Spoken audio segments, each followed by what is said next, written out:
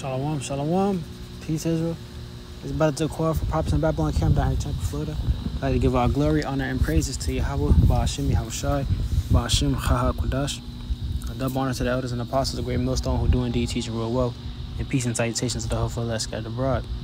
In today's lesson, I want to touch up on, you know, make no tarrying to turn to the Lord. Okay? So when you think everything is all safe and good, that's when the Lord comes in and gets you, man. All right. We'll start off in the book of First Thessalonians chapter 5 and verse 1. It says, But of the times and the seasons, brethren, ye have no need that I write unto you. For yourselves know perfectly that the day of the Lord so cometh as a thief in the night. All right, we understand that. And no man knows the day or the hour, the day nor the hour, except the Heavenly Father, Yahweh. But we know that the day of the Lord is going to come like a thief in the night, man. All right, which the day of the Lord is consistent you know, in the, the midst of World War III, when those nukes get, when those ICBMs get shot off, we know the Lord is on His way, man. All right, the Lord, the Lord, the Lord's gonna be here.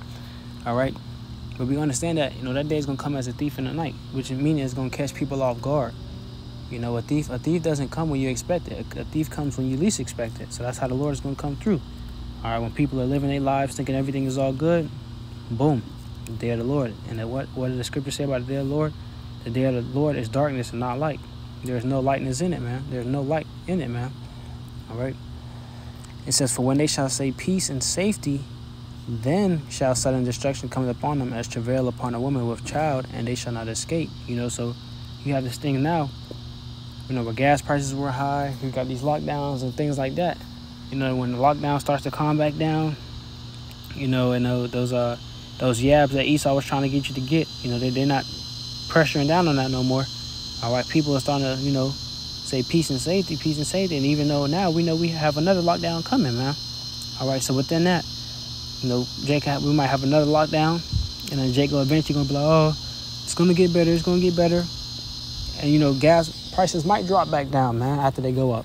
You know, Esau maybe might, you know, open up a few little things here and there. People going to start to say, oh, peace and safety, oh, we're good, America's going back to normal. It says, then shall sudden destruction come upon them as travail upon a woman with child. You know, like a woman giving child, a woman giving, like a woman giving birth to a child. You know, when she has those uh those birth pains, you know, those, those uh, leave his uh the con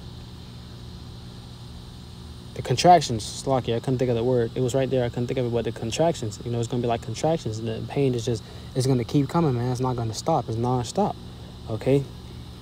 It says, but ye, brethren, are not in darkness. You brothers that serve Yahweh Shem Yahushua, you know the Lord. You're, you're, you're within this truth. And you're not in darkness, man, because you understand that. You know, this is why brothers are, are, are seeking Yahweh Shem Yahushua daily, seeking him diligently, putting in that, putting in the work, man. Okay? You're not in darkness because you understand you're watching for prophecy. That's the biggest thing. Prophecy, all right, is what keep is what was keep you out of that darkness too. You, you know, with Yahweh Shah. It says, "But ye brethren are not in darkness, that that day should overtake you as a thief." You know, so that day is not going to be a surprise to you, brothers. Your brothers are not naive or ignorant to that day. All right. It says, "Ye are all children of the light and the children of the day. We are not of the night nor of darkness." Therefore, let us not sleep as do others, but let us watch and be sober. And that's the point, especially being a prophet. Watch and be sober, man. Be diligent. Okay, that, that is the whole goal. What are we watching for? We're watching for prophecy. Okay? And that's what's, like we said, that's what's, that's what's keeping brothers out of that darkness, man. That's what's keeping brothers on their P's and Q's to understand so that they don't, don't take them uh, as, as a thief, man. Okay? It says, For they that sleep, sleep in the night, and they that be drunken are drunken in the night. But let us who are of the day be sober, putting on the breastplate of faith and love, and for an helmet the hope of salvation. For Yahweh have not appointed us to wrath, but to obtain salvation by our Lord Yahweh Shah Mashiach, who died for us, that whether we wake or sleep, we should live together with him. You know, whether you live or die, you know, you be for Yahweh Hashem Yahweh for the Lord. Yeah, but the Lord didn't appoint us to wrath, man. The Lord actually loves the Lord loves his people, man. All right. You think the Lord wants to see his people uh, go off and sin? You think the Lord wants to put his people to death? No. But the wages wages of sin is death. You know, our people, uh, the Lord's people, they, they sinning right now, man. All right, so the wages for that is, is, is death. So the Lord's gonna have to put two thirds Jake to death on this side, man. All right, but the, the ultimate goal it says what? To, to obtain salvation by our Lord Yahweh Shah HaMashiach, who died for us, that whether we wake or sleep, we should live together with Him. You know, that's the ultimate goal to reign with our Lord Yahweh Bashim Yahweh Shai. Okay, and with that, I'm saying that to say this, you know, Ecclesiastic Ecclesiasticus chapter 5 and verse 7 says, Make no tarrying to turn to the Lord and put not off from day to day. So don't, you know, when it's time to do a video, when I speak to you, better speak to myself, you know, because I always got to remind myself of this, you know, hey, stay on it, man. You know, do what you got to do. You know what you got to do. All right? Make no tarrying to turn to the Lord and put not off from day to day. Don't be like, oh, I'll do this video tomorrow. Oh, I'll go get this done tomorrow. Nah, man, do it today. All right, if the idea popped up, strike the iron while it's hot. Get in, get in the mode, man. Get get to it. You know, don't put it off. Because when you do that, what's going to happen? It says, For suddenly shall the wrath of the Lord Yahweh shall come forth, and in thy security thou shalt be destroyed and perish, perish in the day of vengeance. So the day where you thinking that everything is all good, you know, you're putting off from day to day, like, man, the Lord ain't going to do nothing. I'm, I'm safe. I'm all right. You're like, man, let me go leave the house and go up the road right quick. Next you know, boom, car accident. You get hit by 18 wheeler or something, you know? When you think you safe, you think you all good, that's when the Lord come and get you, man. The Lord send that death angel out. him, you see him right there? Hey, go, go, go, go, go get that soul. You know, go require of that soul. And that, that, that's how the Lord will get you, man. So our brothers walk on eggshells when dealing with the Lord, man. You don't want to piss the Lord off. You know, you don't want to uh, bring the Lord to anger because brothers are still repenting for sins of their past life too as well, man. You got sins that you're creating in this life willingly and unwillingly, man and sins that you have in your past life too, man. That, that the Lord can still get angry with you about, man. Because you don't want to play with Yahweh Shemi Hawashah. You don't want to play with the Lord, man. You want to try your best to be on the Lord's good side. Don't don't don't wait to try to turn to the Lord, man. Hey, turn to Yahweh Shemi Hawashah now. Hey, turn to the Lord. Seek his face, man. You know, pray pray to the Lord, man. That's the whole goal. And jump to Isaiah chapter 55 and verse 6. It says, Seek ye the Lord Yahweh Shemi while he may be found call ye upon him while he is near. All right, this is the time where the Lord may be found. This is the time where the Lord is near, man. All right, the Lord is near and he's listening, he's watching, he's praying. The Lord is answering the, the prayers of the elect and those who believe on him, man. You know, so never feel afraid to, you know, turn to the Lord, man. Okay, the Lord is our Father, the Father of fathers.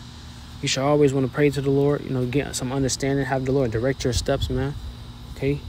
And that, that, that's the whole point of this video is to seek the Lord while he may be found. Don't tarry when coming to uh, to the Lord, man. Okay? It says, Let the wicked forsake his way, and the unrighteous man his thoughts. And let him returneth unto the Lord, and he will have mercy upon him and to our power, for he will abundantly pardon. The Lord abundantly pardons, man. The Lord will abundantly pardon your sins, man. But you, what, what do you have to do? You have to uh, come seek the Lord, man. And what is abundantly going to in large quantities, man? Extremely. Okay, the Lord will uh, extremely pardon you, man. He will forgive you of your sins, but you have to seek the Lord, man. All right, pardon is to reprieve, forgiveness. So the Lord, the Lord will extremely forgive.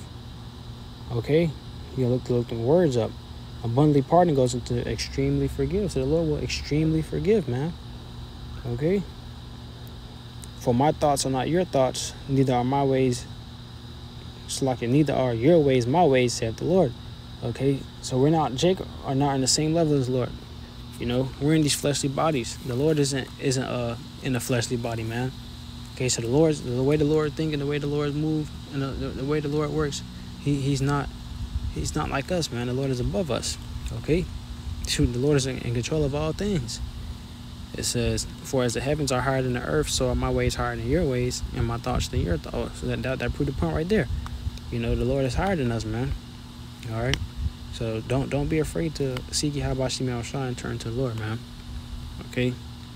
You know, we get, you know, that, that was really the point down there in that, you know, seek Yahweh Shema Shah while he may be found, and make no tarrying to turn to the Lord, man, because the Lord will destroy you and put and send judgment out on you when you least expect it. And the Lord, hey, the Lord might might not, uh, you know, put you to death.